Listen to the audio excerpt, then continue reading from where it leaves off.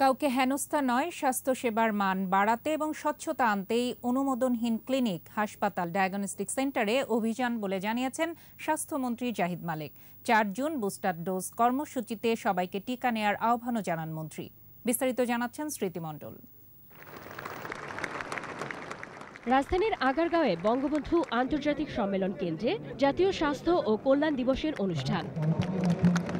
স্বাস্থ্য সেবা খাতে সরকারের সফলতা ও উন্নয়ন পরিকল্পনার বিভিন্ন দিক তুলে ধরেন স্বাস্থ্যমন্ত্রী।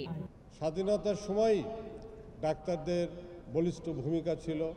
সারা দেশে অবৈধ ক্লিনিক হাসপাতাল ও ডায়াগনস্টিক সেন্টারের বিরুদ্ধে চলা অভিযান প্রসঙ্গ টেনে মন্ত্রী বলেন স্বাস্থ্যসেবায় কেউ যাতে প্রতারিত না হয় সেদিকে নজর দিতে হবে। অনেক হাসপাতাল হয়েছে ক্লিনিক হয়েছে ডায়াগনস্টিক সেন্টার হয়েছে প্রায় এগারো হাজারের মতো। সেগুলোর মান নিয়ে প্রশ্ন উঠেছে। আমরা কারও হ্যারাসমেন্ট করতে চাচ্ছি না।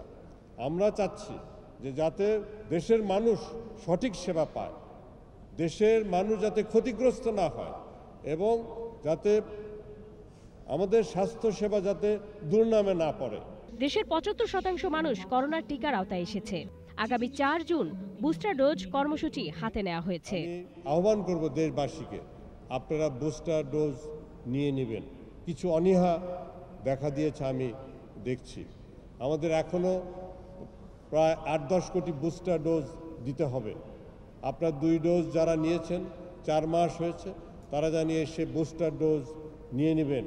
সংক্রামক রোগের পাশাপাশি অসংক্রামক রোগ নিয়ন্ত্রণেও নজর দেওয়ার কথা বলেন স্বাস্থ্যমন্ত্রী। ক্যান্সার কিডনি হার্ট ডায়াবেটিস রোগ। স্মৃতিমণ্ডল একুশে টেলিভিশন ঢাকা।